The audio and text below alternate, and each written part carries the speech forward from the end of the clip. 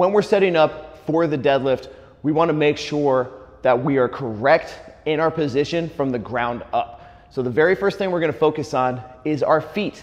We wanna make sure that we have as good and solid as possible of a connection through our feet to the surface of the floor.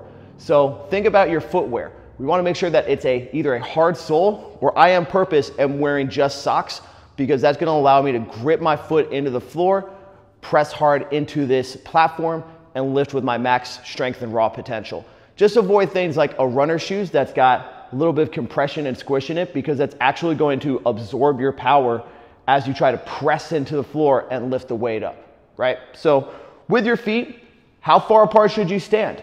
Now, as we go through this, a lot of these are general guidelines and recommendations. There is a lot of difference between body types and limb lengths and different factors. So I'm gonna give you the general starting points and then you need to use this information to find out and dial in what works for you and your body type. But in general, we're looking for feet shoulder width apart and toes can be out anywhere from straightforward parallel or up to about 10 to 15 degrees. But I want to differentiate that a squat, typically we're going out more like 30 degrees here. So we don't want nice and wide like that. We want shoulder width apart, toes out about 10 to 15 degrees.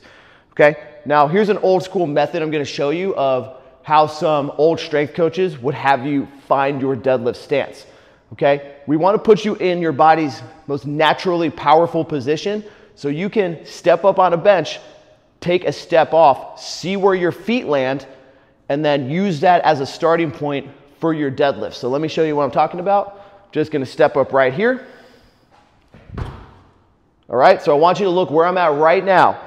This is actually my deadlift stance. You know, now I've done this drill a couple times, many times as it turns out. So I know where I'm gonna land. I have a little bit of bias, but try this for yourself as a starting point. Mental snapshot. Now I'm gonna take my step up to the bar, I'm in that exact same position.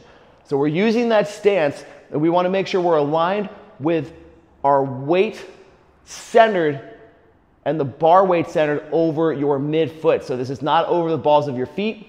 It's not weight pressured centered on the heels. It's over your midfoot. Try to think about gripping the floor as if your foot was a tripod with your big toe, your pinky toe, and your heel taking the pressure of all of your force.